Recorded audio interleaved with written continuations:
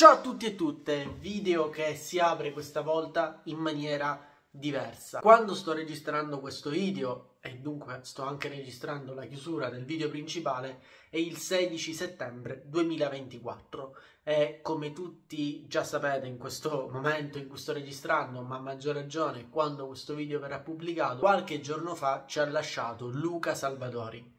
Luca Salvadori, che chiamo per nome e cognome perché non ho avuto la fortuna di conoscerlo, quindi per me è una forma di rispetto verso la sua persona, era, purtroppo era, uno youtuber, perché io così l'ho conosciuto, ma soprattutto un pilota, principalmente di moto, ma anche di auto.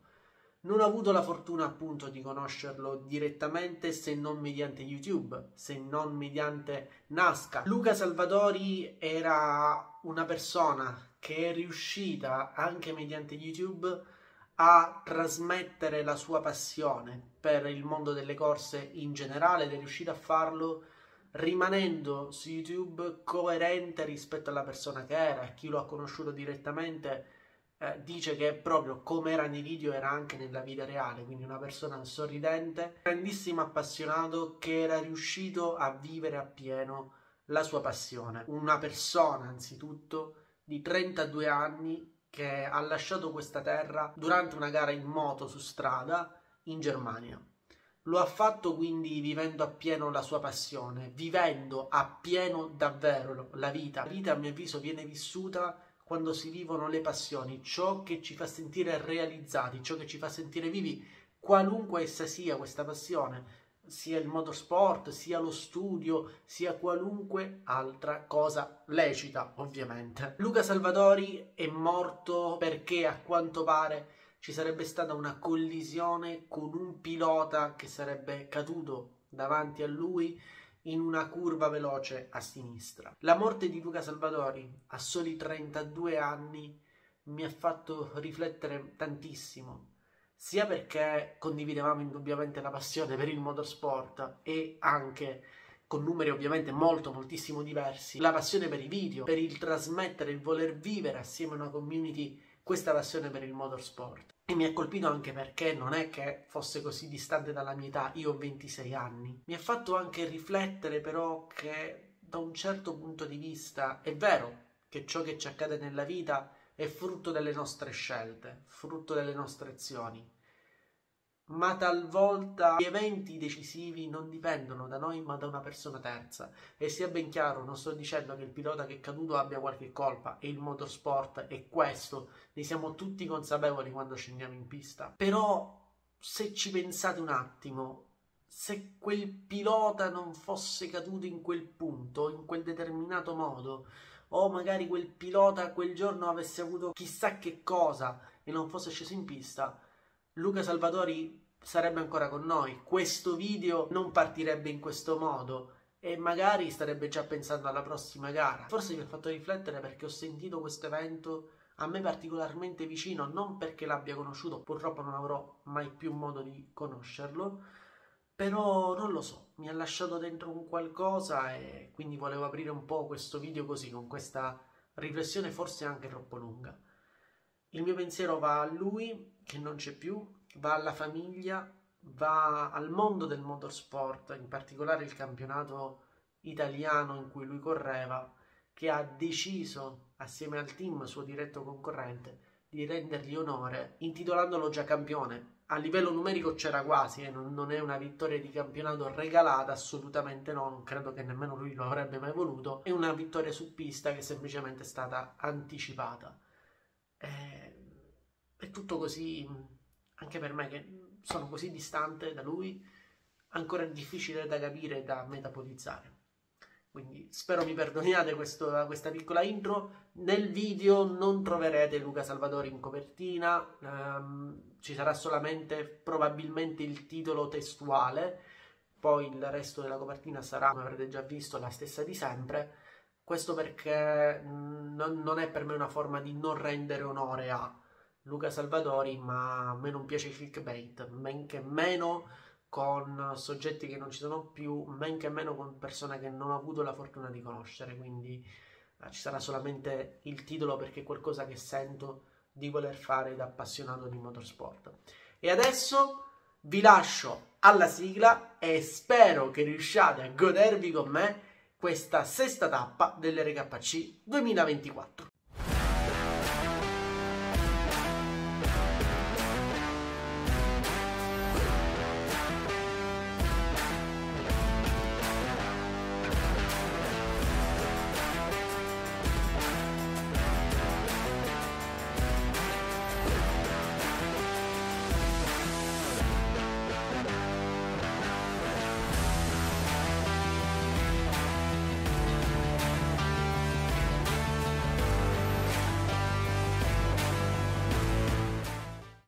Tutti e tutte, benvenuti in questo video, sesta prova del campionato regionale RKC 2024, l'ultima tappa al circuito internazionale del Volturno, una tappa in cui dovrò dare il massimo. Ve l'ho già spiegato nello scorso video perché la posizione in campionato è un po' quella che è. Vi ringrazio per la grande fiducia che mi avete dato in quella storia in cui molti di voi sono ancora ottimisti sull'esito del campionato, probabilmente molto più ottimisti di me, il che mi carica a molla. Se vedete questo video in maniera un po' differente rispetto alle altre volte non è strano, infatti sto girando in 60 fps, alcune parti del video saranno in 50 per quei test che vi dicevo di aumento della qualità.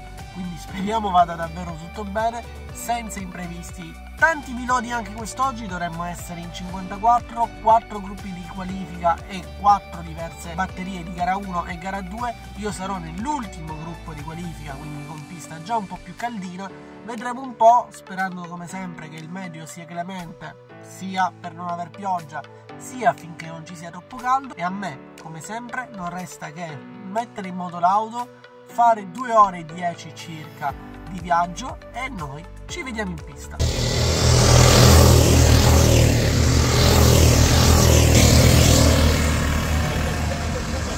Ci siamo, finalmente scendiamo in pista per il turno di qualifiche di questo round 6 dell'RKC 2024. Inizio a riprendere confidenza con pista e kart e inizio a scaldarlo. Vi porto nel mio best lap di queste qualifiche, giro che inizia in questo istante, tutto giù su questi primi due curvoni, rapida successione. Nel precedente round qui entravo tutto pieno ma ancora non riesco ad avere quella medesima fiducia e allora freno, arrivo più lento qui, ma questo mi consente di entrare meglio in queste curve successive, quasi contigue. Sembra un unico grande curvone, in realtà c'è un minuscolo rettilineo in mezzo e arriviamo in questo punto che alcuni prendono tutti in pieno, io ancora non ci riesco, freno un po' per far girare il kart, per prendere poi il cordolo interno successivo, per arrivare poi qui a tutta velocità faccio queste due curve una dietro l'altra controllando semplicemente l'acceleratore niente freno ho imparato a farlo fortunatamente ancora qui tutto giù prendo qui il cordolo dopodiché mi allargo frenata per far girare il kart arrivo tutto di traverso ma riesco ad uscire abbastanza decentemente e mi piace. Ho come l'impressione di essere più veloce in questa parte finale rispetto a qualche round fa dove mi lamentavo molto di essere lento proprio in questo punto. E allora rettilineo d'arrivo per chiudere questo giro in 1 11 e circa 2 centesimi rotti uh, no, no, non va bene non, non, è per niente un buon tempo il mio tempo target è di 1,09 e non so perché beh dire ormai il risultato è questo portiamolo a casa ah! qualifiche come al solito come al solito come ben sapete la qualifica non è esattamente il mio forte. Gara 1 sarò nella batteria C e partirò in penultima posizione. Fondo gruppo e ovviamente la strategia sarà sempre la stessa. Partire con calma, non mettersi in mezzo alla mischia per evitare guai, come è accaduto durante il primo round proprio qui, quindi memore di quell'esperienza evitiamo guai e non mi resta che fare come sempre del mio meglio. Quindi concentrazione, tuta di nuovo sistemata e noi ci vediamo in pista. E ci siamo.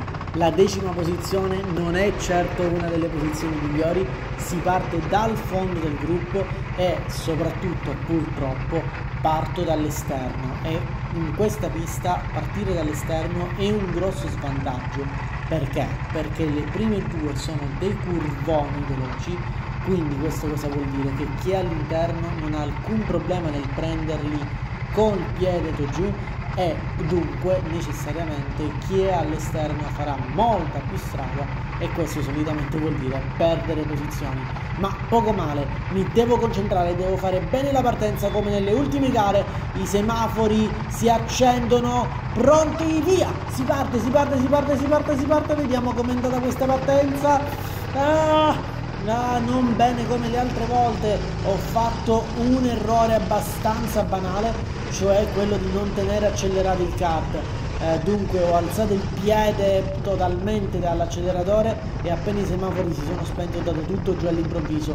Grave errore, grave errore perché il kart non era in coppia, quindi già partivo svantaggiato, in questo modo sono partito ancora più svantaggiato e infatti purtroppo mi ritrovo adesso in undicesima posizione o addirittura perso una posizione vedendo anche davanti come stanno bagarrando come sempre io non voglio entrare in mezzo ai guai. Dunque lascerò che bagarrino un bel po' e al momento propizio mi infilerò per approfittarne il più possibile.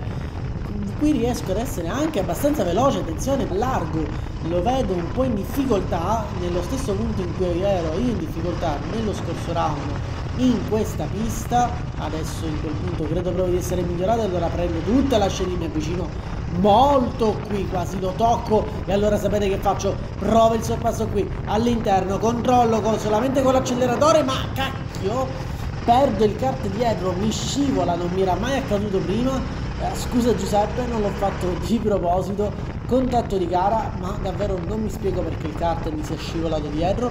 Strano ma poco male adesso devo tenere il piede tutto giù e avere come prossimo target il gruppetto lì davanti che iniziano a darsene di santa ragione qualcuno va fuori alza un po' di terra ma io non mi arrendo e allora tutto giù. Arrivo qui al solito punto eh, cordo all'interno e aia! Che succede no? Cos'è successo? Cos'è successo? Ah!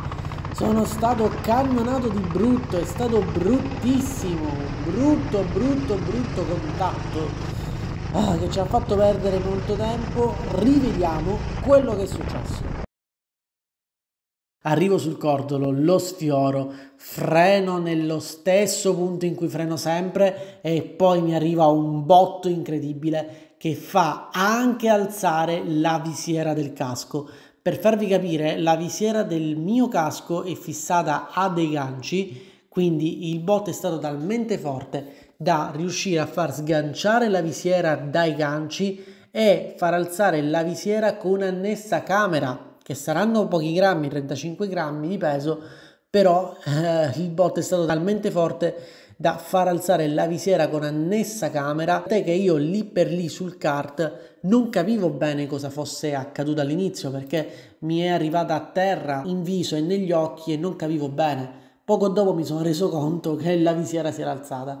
Quindi il bot è stato veramente brutto. Meno male che sono riuscito a fermarmi prima delle gomme che vedete che sono messe al centro dell'uscita di curva uh, e sono riuscito anche a non far spegnere il kart. Utilizzo un trucchetto per fare ciò. In un qualche prossimo video ve lo spiegherò. Cosa è successo? A sua detta ha avuto un problema meccanico i freni in quel frangente lo hanno abbandonato. Credo che sia possibile. Magari ha appoggiato male il piede magari non ha dato ai freni quella pressione necessaria affinché si attivassero i freni. Comunque al di là di tutto al di là delle motivazioni, si è scusato anche più volte sia di presenza sia poi sul gruppo del campionato. Quindi per me è davvero tutto ok resta l'uscita per campi e il grande spavento. La gara va avanti perderei solamente tempo a immaginare quindi piede adesso tutto giù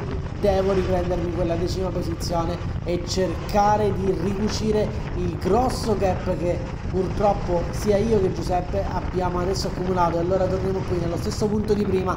Provo di nuovo lo stesso sorpasso stavolta mi riesce stavolta non perdo il cartigliero, sorpasso pulito e adesso la mia unica preoccupazione è quella di allontanarmi il più possibile da Giuseppe. Se ha avuto qualche problema meccanico, il rischio di un altro contatto di quel tipo è davvero molto alto. Quindi voglio evitare altre uscite per campi, soprattutto per evitare sia di farmi male sia di spegnere il kart e buttare totalmente nel VC l'intera gara. Quindi torniamo qui nello stesso punto di prima, stavolta ne esco intero, riesco a farlo e adesso di nuovo piede tutto giù.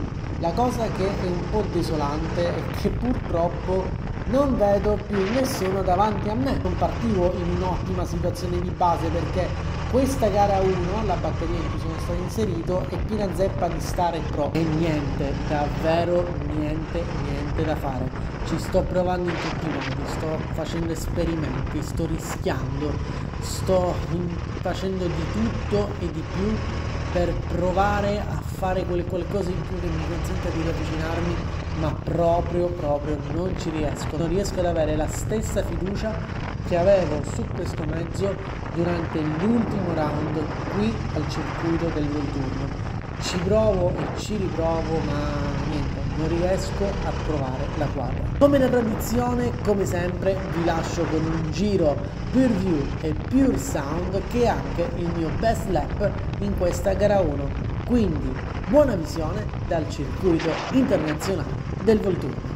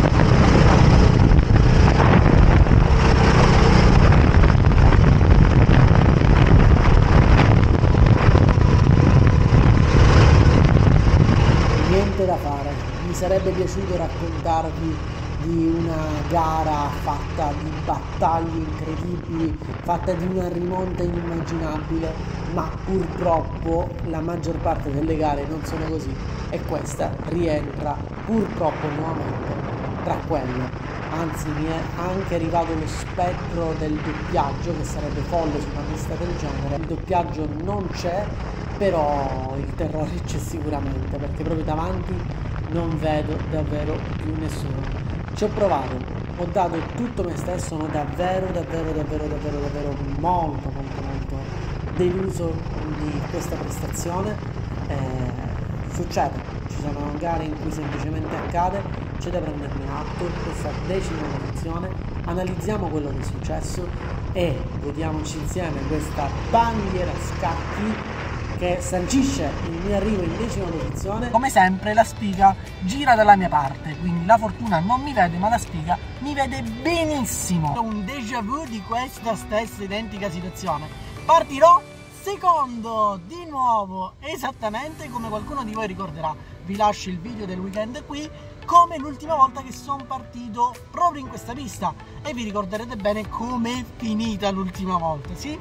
Io sì, me lo ricordo benissimo. Di nuovo partenza dall'esterno, nuovamente, due volte su due, guarda, cioè proprio si chiama fortuna. Questa volta cercherò di fare una partenza decisamente migliore. E mamma mia, eh, ogni volta è un dramma. Eh, farò un'altra norissata. Speriamo di no, io ovviamente ce la metterò tutta, però ormai una sfiga che mi perseguita. Ogni volta la partenza dalle prime due posizioni per me sembra essere una maledizione ma vediamo di romperla questa volta. Speriamo bene, ci vediamo in pista. Giro di formazione di questa gara 2. Chi è iscritto sul canale da un po' o chi mi segue da un po' può ben immaginare quale sia il mio stato d'animo in questo momento. Come ben saprete, e se non lo sapete ve lo spoilerò, tutte le volte che sono partito dalla prima fila è sempre andata male, tranne una volta in cui sono riuscito ad occupare il gradino più basso del podio, ma tutte le altre volte sono finito fuori dal podio. Ed è una cosa che non si deve ripetere, che non posso permettere che si ripeta qui e adesso, dove ho assoluto bisogno di punti. Quindi devo cercare di partire bene. Dietro, in terza posizione, c'è un pilota della categoria Pro quindi so che non sarà affatto facile. Ultime curve prima dello spegnimento dei semafori. Gian Attasio, il pilota della Pro, si attacca dietro Fusco che parte in prima posizione e qui devo stare molto attento. Occhi sul semaforo e poi via tutto giù. Occhi sul semaforo e via via via via via, si parte, si parte, si parte.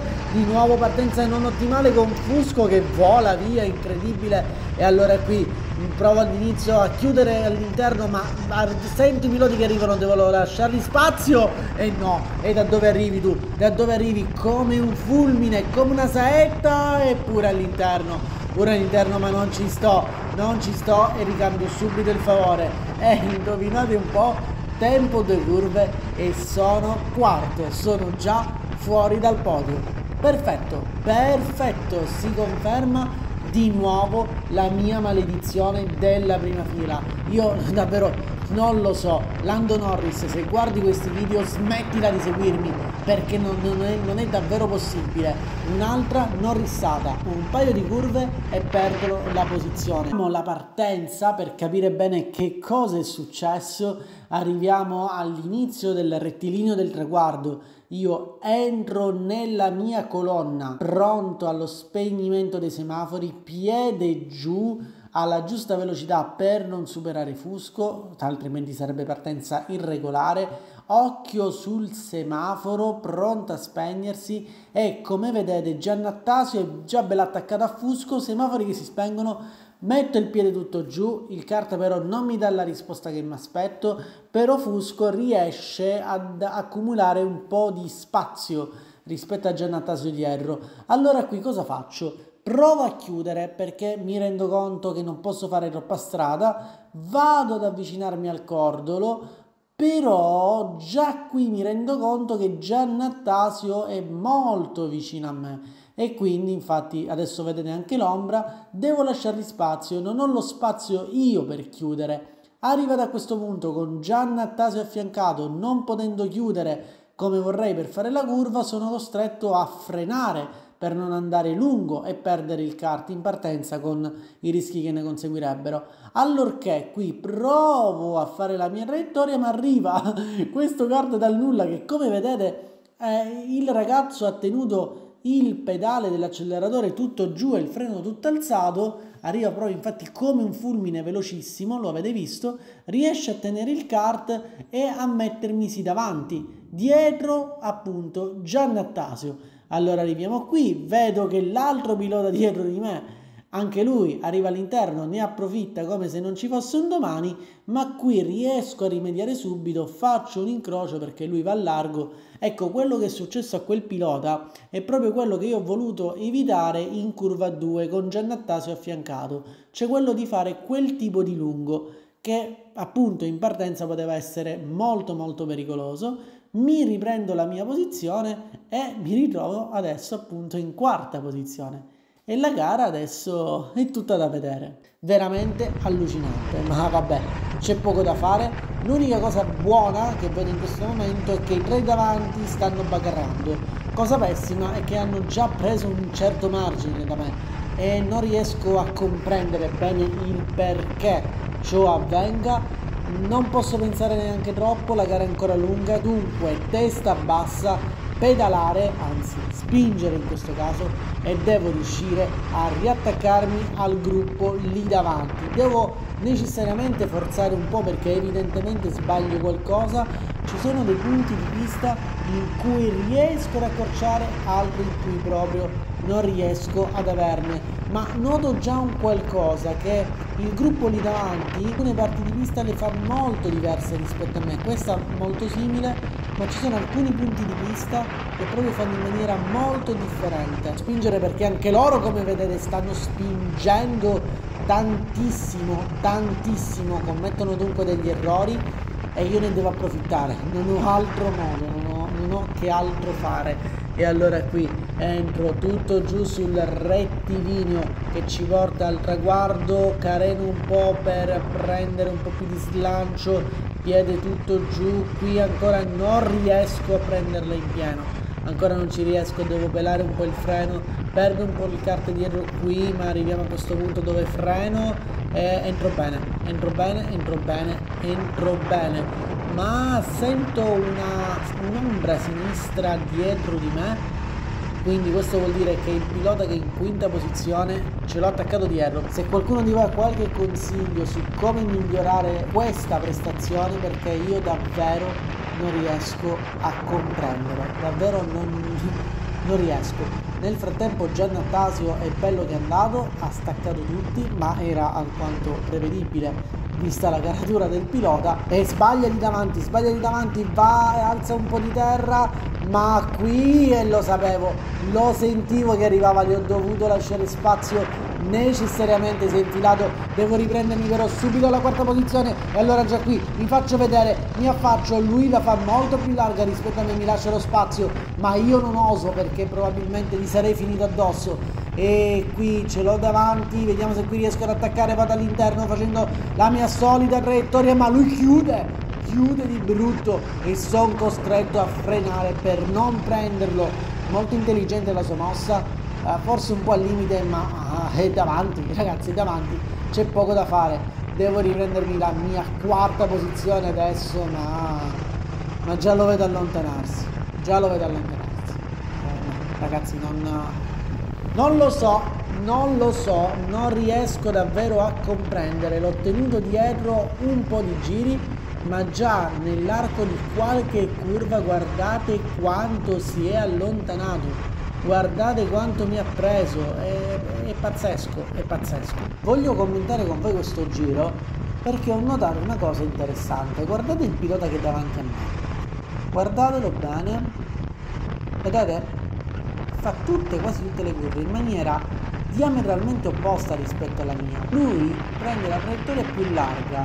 Guardate qui, ad esempio qui proprio è emblematico, va tutto largo, non prende i cordoli, non prende il punto di corda e sfrutta tutta la pista. Questa cosa a me non riesce naturale, anzi dovrei proprio pensarci. È un atteggiamento di guida per me totalmente innaturale. Io punto molte cordoli, punto ai punti di corda ma a quanto pare questa cosa in un circuito come quello del Volturno non paga affatto. Eh, sembra strano, ma vedere quanto arriva largo lui, guardare quanto sfrutta bene la carreggiata, la prende praticamente tutta, farà anche più strada, però evidentemente riesce ad uscire molto più veloce rispetto a me e per quanto strano possa sembrare però paga. Mi sa che ho imparato la lezione e dalla prossima volta devo proprio forzarmi di fare delle traiettorie di quel tipo. E ci provo, sento che manca poco ma devo dare tutto e questo è infatti il mio best lap di tutta la domenica di gare uno dei pochi giri in cui sono riuscito a toccare il mio tempo target di 1.09 anche un 1.09 alto. E allora qui l'ho presa quasi tutta piena il doppio curva nell'inizio vado dentro qui mentre davanti iniziano sul serio a bagarrare. Evidentemente anche loro sentono la fine della gara vicina.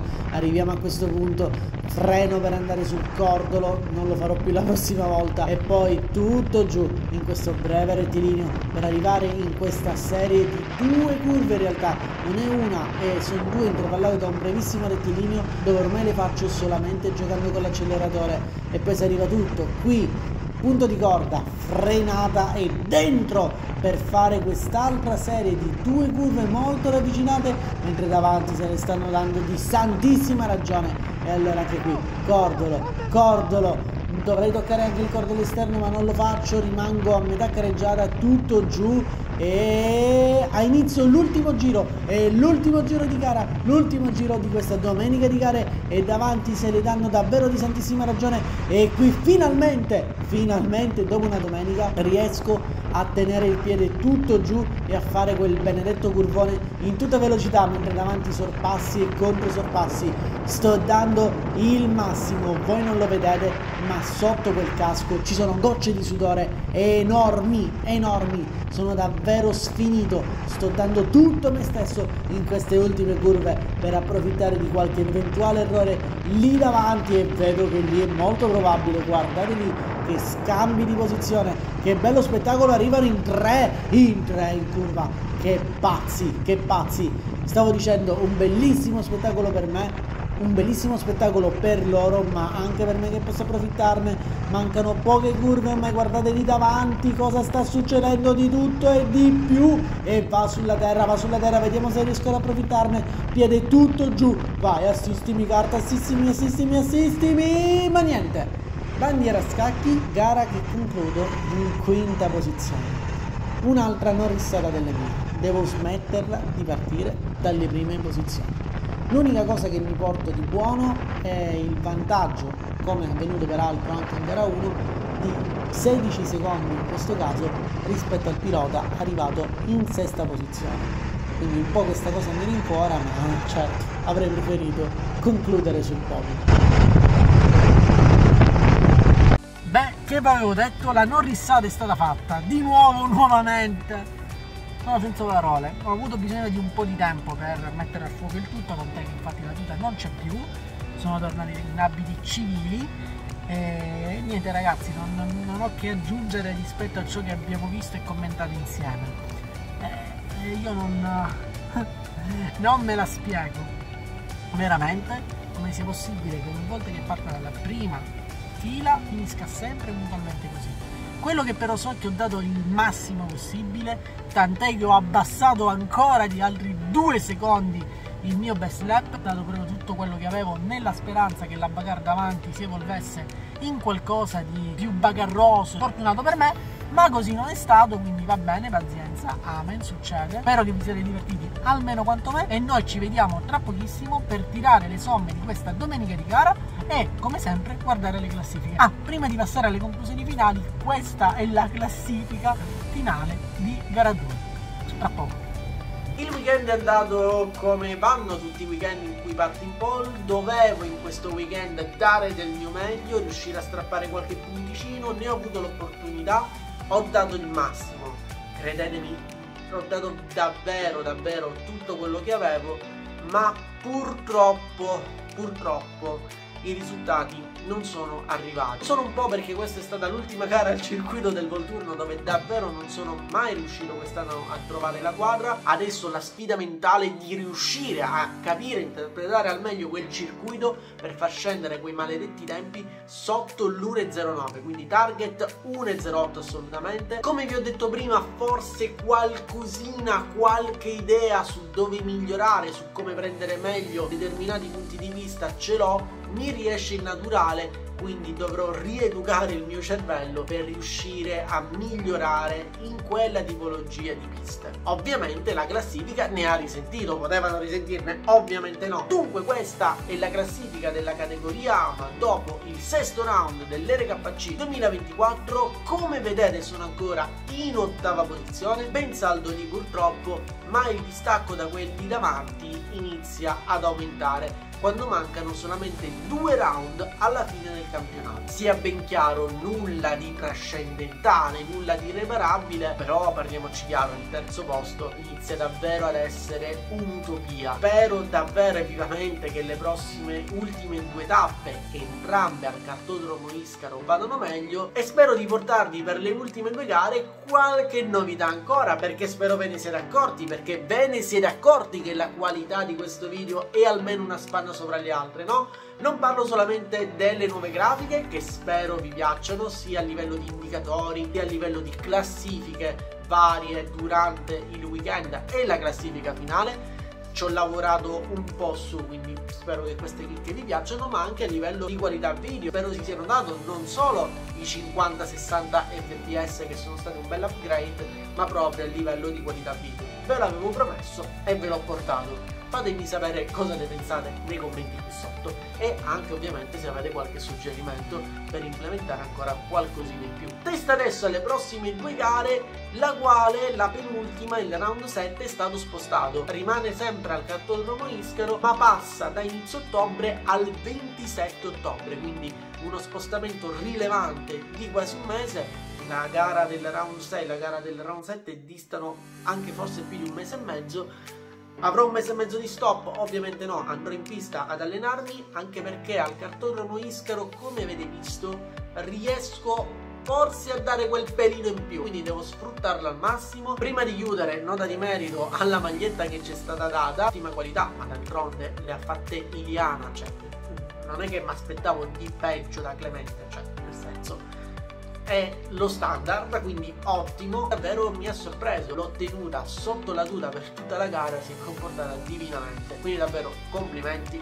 tanta qualità. A me dunque non resta che dare appuntamento al prossimo video, alla prossima domenica di gara, fatemi sapere cosa ne pensate di questo weekend qui sotto, ovviamente i contenuti non finiscono mica qui, ci sono i social, Instagram, soprattutto TikTok, dove posto contenuti quasi ogni giorno. Trovate i link ai vari social qui sotto in descrizione, assieme a qualche altro link molto interessante. Io vi ringrazio per aver vissuto questa domenica di gara assieme a me e vi do appuntamento al prossimo video. Ciao!